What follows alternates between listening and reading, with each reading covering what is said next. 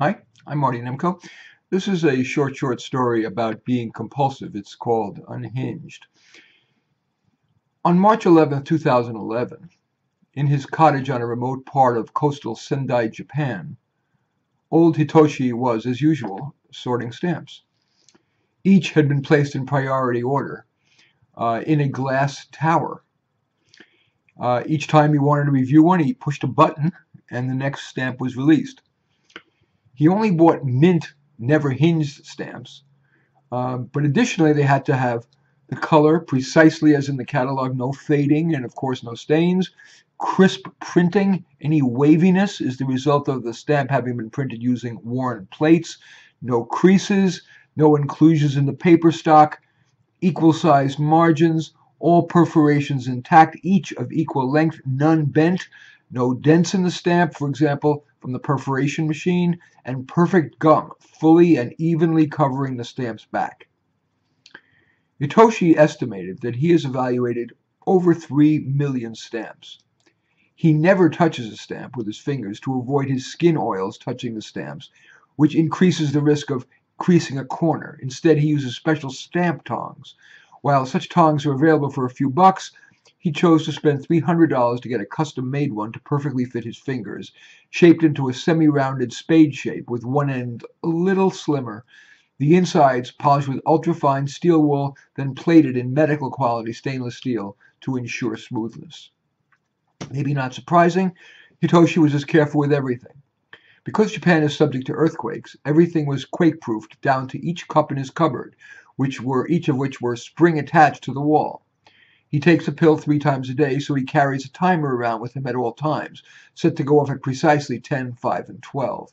Because he hated noise, he triple glazed and soundproofed his house using special material he imported from Germany, super insulation in the ceiling crawl space, and soundproofing strips around every window and door. But suddenly, his normally pacific old Akita dog, Daisuke, which means great helper, pawed his arthritic paw against Hitoshi. Moments later, the cottage started to shake, scattering all the stamps onto the floor.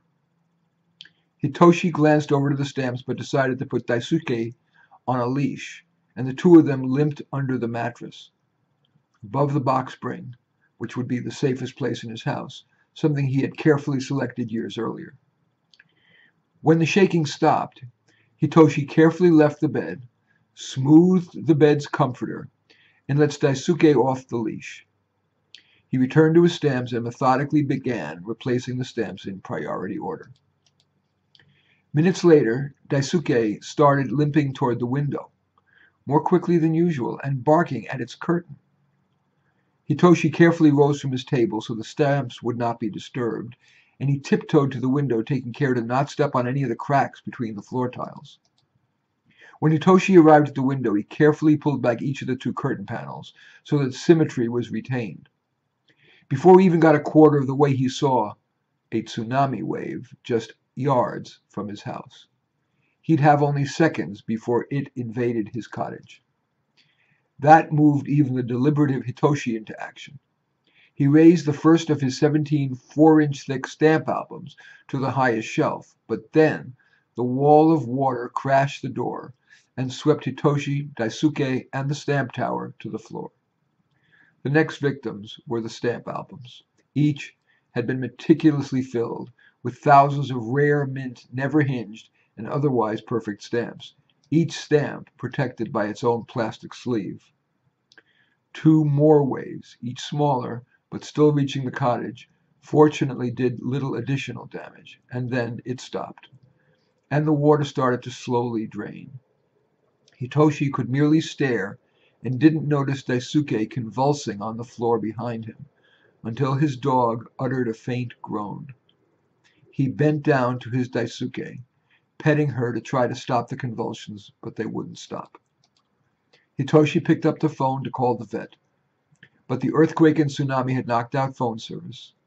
He put Daisuke on the leash, but she would not move, so he carried the 40-pound dog into the car, but the waterlogged vehicle would not start. Hitoshi removed Daisuke and tried to get her to walk with him toward the vet's home office a mile away. but the dog would not move. So Hitoshi carried the still convulsing dog.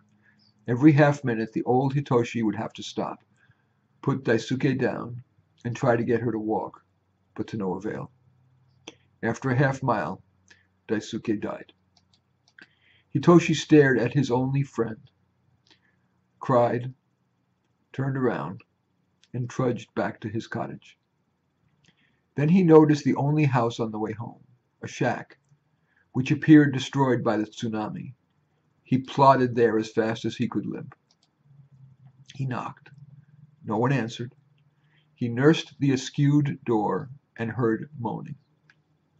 An old woman was trapped under a timber. Her head was bleeding profusely, her skin pale, eyes vacant. Abandoning his usual meticulousness, he grabbed the only piece of cloth he could see that wasn't water-soaked and pressed it against the mortal wound. He tried to lift the timber off of her, but to no avail. He said, I'll get help. No, she replied weakly. He continued to the door. She says, No, please.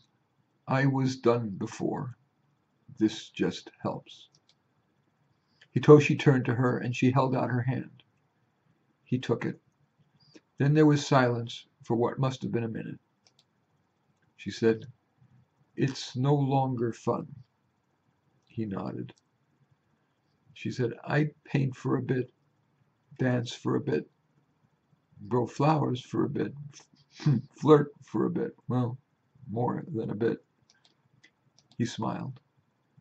And she continued, I worked some too, helping orphans find homes, setting up museum exhibits, even running a geisha house.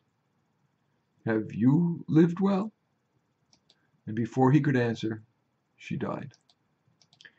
He stared at her, covered her head, bowed deeply, and padded out and back toward his cottage. There, he mailed, unsorted, a handful at a time,